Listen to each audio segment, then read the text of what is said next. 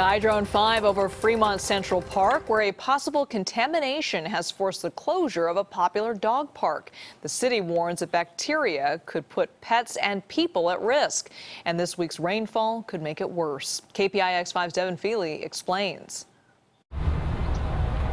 For a third day, Fremont's dog park was padlocked, closed until further notice, amid concerns that an animal sickened with leptospirosis bacteria had recently used it. We received an anonymous note that indicated that a dog had been present in our dog park with um, leptospirosis. The disease causes vomiting, diarrhea, stomach pain, and lethargy in pets, and can spread to humans, where if left untreated, in extreme cases, can even be deadly. Dog owners we spoke with today say they support the city's decision to temporarily close the park. Well, I think it's a good idea. I mean, you got to keep the animals safe, and I mean, we all love our pets.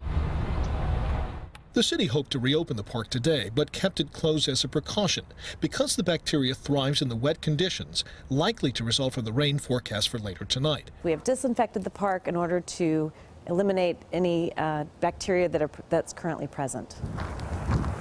In the meantime, dog owners like Ray G says a checkup, even if his dog buddy shows no signs of being sick, never hurts. He's probably due for a, a, vet, a vet visit anyway, so I'll probably take him there and have him checked out. In Fremont, Devin Fehely, KPIX 5.